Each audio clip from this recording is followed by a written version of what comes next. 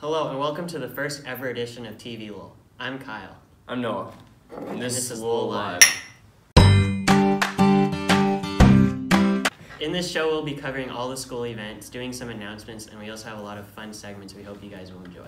Today's date is April 12th, 2019, and our top story is the Lowell Talent Show. Last Friday night, SBC presented the Lowell Idol Talent Show.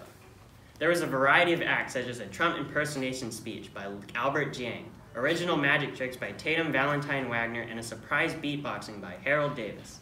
All 20 acts showed incredible talent. However, the judges could only choose three acts to be Lowell's top idols. Third place was Lola Miller's original song, Your Name.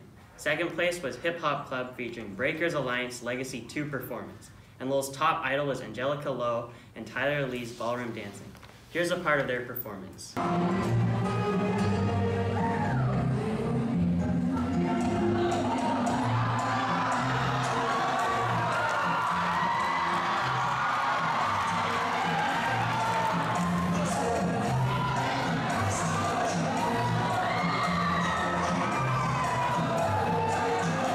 As you probably already know, our principal, Mr. Ishibashi, is retiring this year in order to take care of his family. Mr. Ishibashi has graced the Lowell community for 11 years, and we're sad to see him go. What most people don't know is that Mr. Ishibashi has lived an incredible life before and during his time at Lowell. We at Lowell Live made a Draw My Life story as a tribute and thank you. Here's episode one.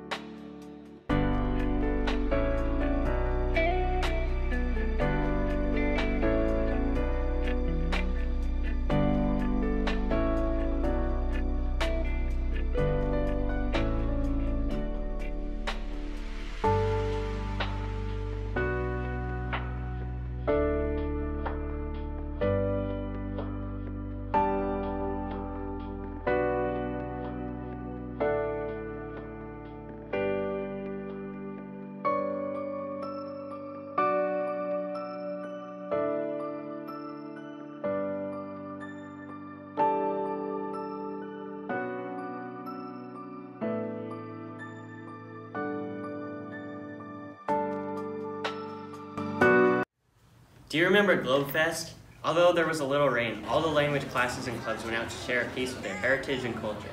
These include the food each language department was selling, such as French crepes, Japanese takoyaki, and Chinese chow mein. All the money went to help the World Language Department with funding. There were also cultural performances such as Lion Dance Me's bench routine and the Burmese Club's cultural dance. Here's a part of the Korean's Coax dance performance.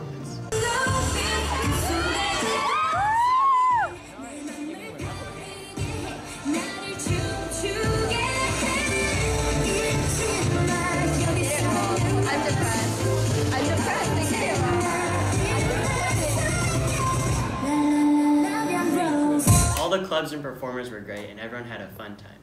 All right, so here we're gonna be talking about the question of the week, which is shower thoughts. Did I hear shower thoughts? Oh, Igor Bessa, everyone. Hello.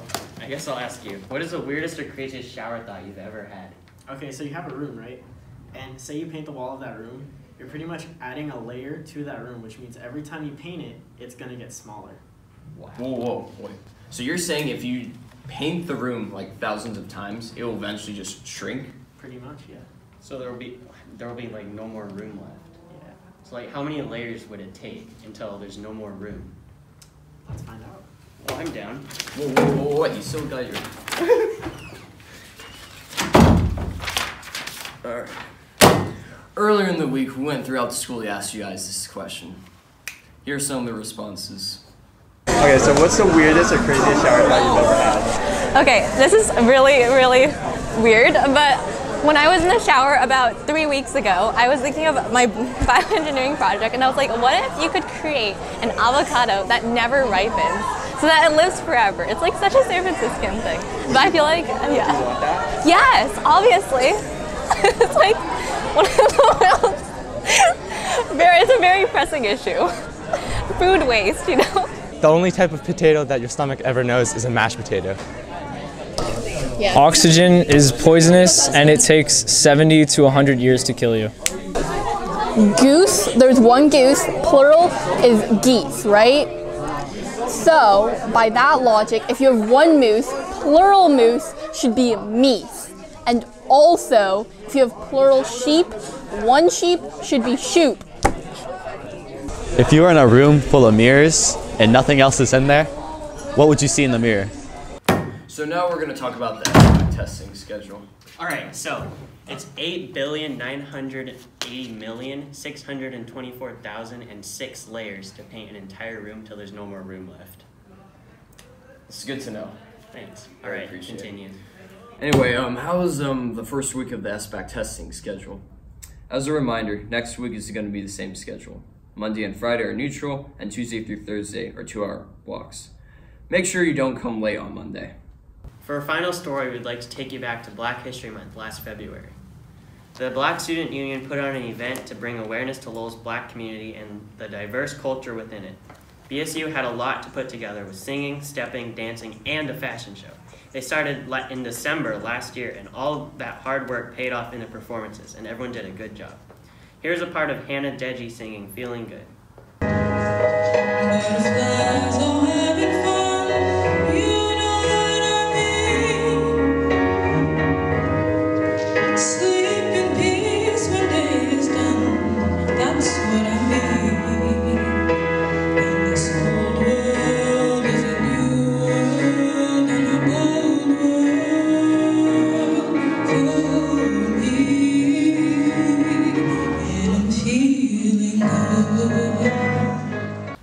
That's about it for our first ever edition of Lowell Live. Once again, I'm Keil. And I'm Noah. If you enjoyed, make sure to check out our YouTube page and our Instagram at LowellHS Live. Special thanks to Lowell PTSA and Lowell Alumni Association. Tune in for our next edition of Lowell Live and enjoy your weekend. Our ending clip is Abby Marino's original song from the Lowell Idol 2019 talent show. This, is Lowell Live, signing off. It's